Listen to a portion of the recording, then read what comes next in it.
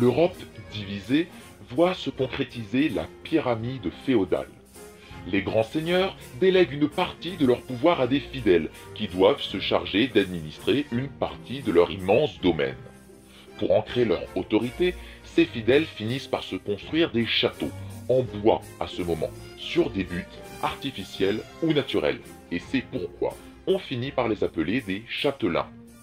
Pour les aider, ils engagent des chevaliers, des hommes issus de différentes classes sociales et qui ont pour particularité unique de se battre à cheval, d'où leur nom.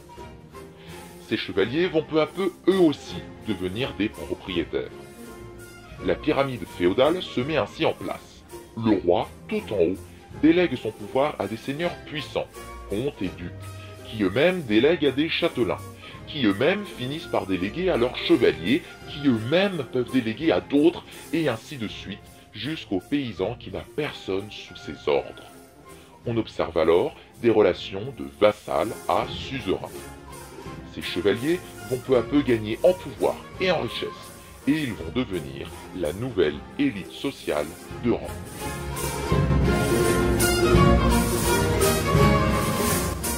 Robert naît en 972 et son règne s'étend de 996 à 1031.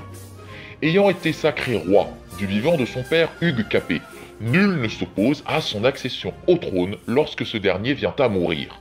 Il se marie trois fois, avec Rosala d'Italie d'abord, qu'il répudie, Berthe de Bourgogne ensuite, qu'il quitte aussi en étant plus ou moins forcé par le pape, et enfin avec Constance d'Arles.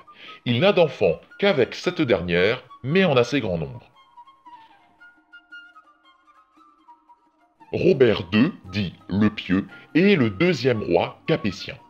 Présenté par son biographe Elgo de Fleury, sa vie apparaît comme un modèle de sainteté, de charité et de don à l'Église. Le prince parfait, l'exemple à suivre.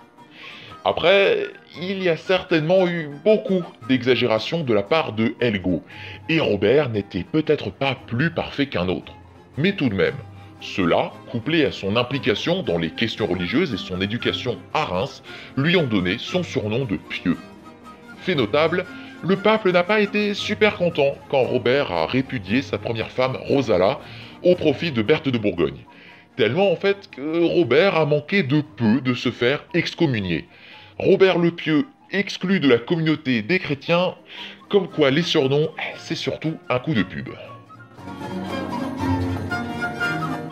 Robert cherche avant tout à contrôler un plus grand territoire, en s'en emparant et en l'administrant lui-même, comme le comté de Dreux ou le port de Montreuil, apporté par son mariage avec Rosala, ou en en donnant le contrôle à des fidèles à lui.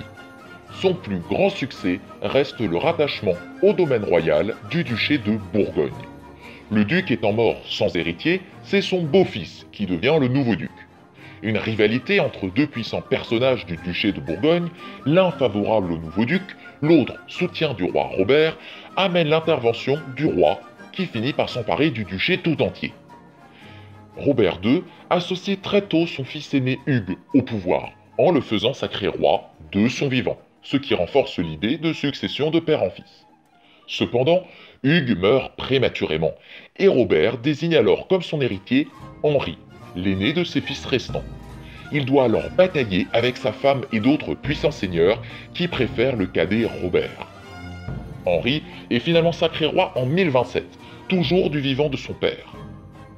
Vers la fin de son règne, parce qu'il commence à se faire un peu trop vieux au goût de ses héritiers, Robert subit plusieurs révoltes, organisées par ses deux fils, Henri et Robert, révoltes qu'il réussit à mater.